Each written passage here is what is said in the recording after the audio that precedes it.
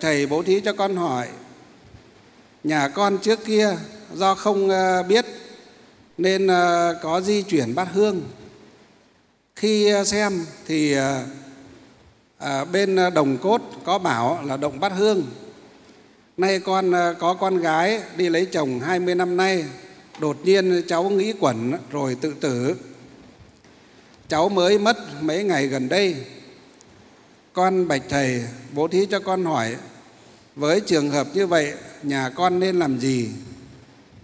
Và trong nhà có người mất như vậy, thì ờ, người nhà nên làm gì? Con kính ờ, mong thầy bố thí, giảng giải cho chúng con được rõ. Con xin ờ, cảm ơn thầy. Nam mô a di tạng bồ tát ma ha tát. Cái trường hợp phật tử này thầy khuyên rằng trong vòng 49 ngày hoặc 100 ngày kể từ khi ờ, ờ, cháu mất kia. Nên ờ, phát nguyện tụng kinh địa tạng, phóng sinh, tu phúc, không sát sinh hại vật. Để đem công đức phóng sinh, tu phúc, không sát sinh, hại vật cộng thêm tụng kinh niệm phật làm các việc thiện để hồi hướng cầu siêu cho vong linh của con. Đặc biệt trong pháp hội này nên làm cái bài vị để các thầy cũng như đại chúng trong pháp hội à, hồi hướng trợ duyên cho. Vì chúng ta biết trong kinh đức phật dạy những người mà mất về cái nghiệp của gọi là, là, là tự đoạn mạng sống của mình mình gọi là tự tử đó là nặng lắm khó siêu thoát lắm cực kỳ à, khó siêu thoát. Các trường hợp mà tự vẫn tự tử quyên thân tự tử đặc biệt là treo cổ hoặc là uống thuốc độc hoặc nhảy sông nhảy à, núi nhảy lầu vân vân đó khó giải thoát vô cùng. Cho nên những cái trường hợp như thế cầu siêu có đến thì vài pháp hội chưa chắc họ đã gì đang ngộ ra. Cái nghiệp của họ nặng. Phải nói là cái nghiệp của họ này cực kỳ là là nặng thì họ mới tìm đến cái chỗ mà phẫn uất mà à, quyên thân à, tự sát như vậy tự tử như vậy. Cho nên trường hợp này thì khuyên là nếu chưa làm bài vị thì ngay sau khi nghe giảng thì ra làm cái bài vị riêng cho con. À, để hồi hướng cho con. Còn cái chuyện bát hương trước đây mà mình thì mình động các thứ đó thì đơn giản đấy mà. Bát hương thì cái chuyện mà chúng ta bao sái ban thờ bát hương động ra động vào cái chuyện đó là thường là hay mắc phải. Cho nên các phật tử chúng ta trước khi à, làm lễ à, à, trước khi mà dọn dẹp ban thờ sợ động chạm bát hương xê dịch bát hương bát hương thường an vị rồi thì họ ít khi hay động vào. Cho nên trước khi chúng ta làm lễ à, bao sái hay gì gì đó chúng ta gì nên à, thắp tuần hương khấn khứa với các cụ thờ phật thì khấn phật. À, thờ à, thần linh thì khấn thần linh thờ gia tiên khấn gia tiên vân vân. Không thì mình cứ nam mô quan nam mô a di đà phật quan lại chín phương trời lại mười phương phật chư phật mười phương vân vân lại phật trước. Xong rồi đến à, thần linh thổ địa gia tiên nội ngoại nhà mình vân vân khấn nôm na. Tâm nghĩ thế nào thì miệng nói như thế, miễn là tỏ tấm lòng thành. Hôm nay là ngày bao nhiêu bao nhiêu đó, chúng con thì ờ, đến bao sái. Ờ, quét dọn ờ, văn thờ bao sái, văn thờ, các cụ thần linh, gia tiên sạch sẽ, trang nghiêm, chuẩn bị đến ngày rỗ, ngày tết hay ngày gì đó, vân vân. Mình chỉ khấn các cụ thôi, có gì các, có cái điều gì đó chưa phải chưa đúng hay có lầm lẫn gì thì à, xin các cụ là hoan hỷ à, lượng thứ cho chúng con. Có cái lời khấn trước như thế thì chúng ta làm vô tư thậm chúng ta nhấc ra ngoài cũng được. À, nhấc ra ngoài làm xong là gì? Nhấc vào cũng được. Nhưng đùng đùng đùng đùng chúng ta lên là để coi thường cứ lấy lại nhấc ra nhấc vào nhiều nhà là ăn ngay. À, ngày xưa thầy kể rồi một lần hai ba lần rồi hay sao ấy, kể rồi đấy. Đúng không? Câu chuyện ở dưới chùa ngọc tân ấy, cô giáo viên hiệu phó với lại cái chú uh, uh, chủ lò gạch ấy. Đấy chuyển bát hương ra một cái con trai sốt ốm đùng đùng lên ngay. Chuyển lau ban thờ mà đem bát hương của thần linh ra đặt ở ngoài ờ, hiên nhà ấy. Mang ra đường một tí thôi con trai gì lăn đùng ngã ngửa ra ở dưới nhà rồi cứ thế là sốt đùng đùng lên. Sốt nó co giật đùng đùng lên sợ hết vía ra. Đem ra bệnh viện bác sĩ truyền nước rồi khám chả ra cái bệnh gì cả, mà nó cứ co giật, nó cứ uốn éo như thế. Gia đình chẳng ờ, biết cách nào ấy thì làm cái ờ, lễ đi xuống chùa. May hôm đấy thầy đi học, thầy ờ, lại đi về. Thế là thầy hỏi, nói với thầy thầy chạy lên ngay. Lên thầy mới bảo là làm này không được, thế là đem cái bát hương vào rồi đi mua ngay cân hoa quả với lại cái lọ hoa đây. Thế là khấn khứa chỉ ba biến đại bi thập chú thằng an vị lại cho xong, ở ngoài viện gọi điện về, cháu nó khỏi rồi. Đấy chúng ta thấy. Đấy có những trường hợp có những cái gia đình á ở cái nơi ờ, đất cát gì các cụ thần linh thổ địa hoặc gia tiên này các cụ linh thiêng á chúng ta làm là phải gì? Kính cáo trước. Đấy, giống như trong gia đình nhà mình là chủ nhà mà ví dụ như bố mẹ là ông bà mà có quyền lực ở trong nhà ấy chúng ta là con cháu làm cái gì thì ờ, phải hỏi gì? Hỏi bố mẹ hoặc là hỏi các cụ. Ví dụ trong uh, gia đình nhà chúng ta mà ông nội mà còn hoặc bà nội còn mà gì mà quyền thế. Nắm giữ tất cả những cái gì kinh tế hoặc là đất cát hoặc là công ty ờ, tập đoàn trong gia đình á. Con trai con gái con dâu con rể làm mà không hỏi cụ cụ cho đứt luôn. Không? Cụ ờ, gạt ra khỏi danh sách một cái là đứt luôn. Đang làm giám đốc đang tổng giám đốc cụ cho xuống là nhân viên chết toi đại khái thế thì lấy một cái ví dụ kiểu thế. Thì tương tự như vậy. Thì à, nếu mà chúng ta thì làm cái gì chúng ta cũng hỏi. Hỏi cụ thưa cụ cụ hoan hỉ lắm có khi đang làm trưởng phòng lên mà nhát lên phó tổng đốc lên tổng đốc ngay. Vì các cụ cho thì à, cái thằng này được cái đứa cháu nội này được đứa cháu ngoại này được đứa này nó ngoan làm cái gì nó hỏi mà nó lại thông minh lại gì hiếu thảo cái gì nó cũng kính trên nhường dưới được đào tạo thằng này được. Nào tôi gì? Cho nên chúng ta đối với các cụ à, gia tiên tiền tổ chúng ta hay là thần linh thổ địa các cụ ngày xưa nói có thờ có thiêng có kiêng có lành.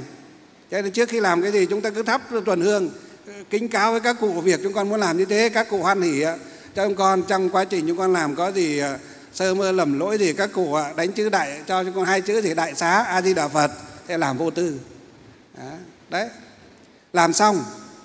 Dọn dẹp xong lại đâu vào đấy lại chuyển Ờ, vào thì đặt vào an vị, vào là cẩn thận để chỉ cho ba biến đại bi thập chú. Bát nhã xong rồi niệm phật hồi hướng tam tự quy ờ, khấn nôm an vị. Xong. Đơn giản mà có gì đâu. Các sư đến chỉ làm thế thôi mà.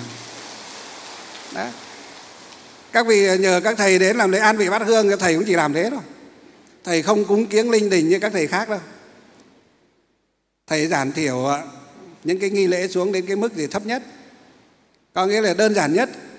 Các vị thấy thầy đến làm lễ ăn vị bát hương cho nhà ba biến đại bi thập chú xong bát nhã xong rồi xong thôi.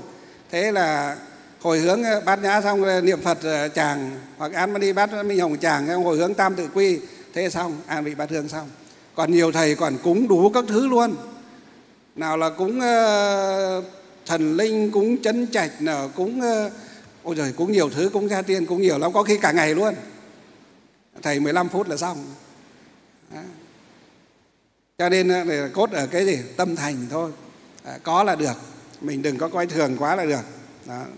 đấy xin uh, trả lời cái trường hợp uh, lệch bát hương hay là muốn đây bát hương cho phật tử như thế và chúng ta cũng có thể từ đó mà áp dụng ra. Cứ thế mà làm thì khỏi phải lo lắng cái gì cả. Hay là kể cả gì? Nhiều gia đình thờ bát hương thì cắm cứ nhiều hương vào nó gì? Nó hóa chân nhang ấy. Sợ lắm người thì viết thư, người thì gọi điện, người thấy nhắn tin bạch thầy nhà con ờ, cháy chân nhang như vậy, có làm sao không, có sợ không, có ảnh hưởng gì không, vân vân. Không sao đâu, các phật tử, nếu mà gia đình nhà nào thắp hương, thắp nhang mà gì mà bị bốc bát hương, bát nhang như thế, hoặc thường xuyên, thậm chí có người nói, bạch thầy, trong chân ờ, bát hương nhà con chả có cái chân nhang nào mà cũng bốc. Thầy bảo nói phét không có cái chân nhang nào làm sao mà nó bốc được bảo thật mà con mới tỉa hôm qua chả có cái nào mà bốc. Làm gì có chuyện tỉa thì thường là người ta vẫn phải để lại mấy gì? Mấy cái ít nhất là ba cái năm cái bảy cái hoặc là một khóm nhỏ nhỏ. Làm gì có ai tỉa chân hương rồi nhổ chọc hết đi đâu. À, chúng ta nhớ nhá tỉa chân hương cũng đừng có nhổ hết đi. Để lại vài cái. Cái vài cái rồi chân hương cũng ấm chân hương. Nhớ tỉa chân hương là ngày, ngày xưa chúng tôi đi học ấy là đức đệ tam pháp chủ ngày dạy rất là kỹ cái này này. Tỉa chân hương kể cả chân hương trên ban phật nhá cũng không được tỉa hết. Đó cũng không cũng không được tỉa hết. Tỉa hết như thế này, nó không đúng pháp. Mà tỉa tỉa phải để lại một chút ở trong ở giữa dập dập cho nó thì ở giữa nó cao lên. Giống như nắm sôi ấy giống như mâm sôi ấy các quý vị ạ. Đấy dập dập chung quanh xuống tỉa để lại vài cái ít nhất cũng phải để lại ba cái bảy cái năm bảy cái gì đó. Chứ đừng có nhổ sạch hết đi chơ thôi lụi đi. Đấy. Nhưng chúng ta cũng không nên để nó nhiều tầng tầng lớp lớp. Sợ nó gì nó cháy nổ thì nguy hiểm đặc biệt ở thành phố bây giờ. À, cứ nửa tháng chúng ta tỉa một lần thắp hương cứ nửa tháng tỉa một lần hoặc tháng tỉa một lần. Ừ. Nếu mà thắp hương nhiều ở chùa thì những cái chùa lớn như chùa chúng ta đây mà vào mùa xuân hội ngày tỉa đến mấy lần? Phật tử họ đến đông. Ngày tỉa mấy lần? Còn ở nhà chúng ta thì khoảng nửa tháng một tháng tỉa một lần là được. Cái sạch sẽ trang nghiêm thanh tịnh à, tâm thành như thế là là tốt vậy. À, cho nên khi mà chúng ta thì có không may mà bát hương mà có ít như là văn hóa. Ví dụ cái cái hương mình thắp lên cái tàn nó rơi xuống này, và chúng ở cái đoạn giữa giữa đó thế là âm ỉ nó bốc nó hóa rồi lại lo. Nếu thôi nếu mà lúc đó mà lo thì có cái biện pháp là gì? Gọi là dùng gì ạ?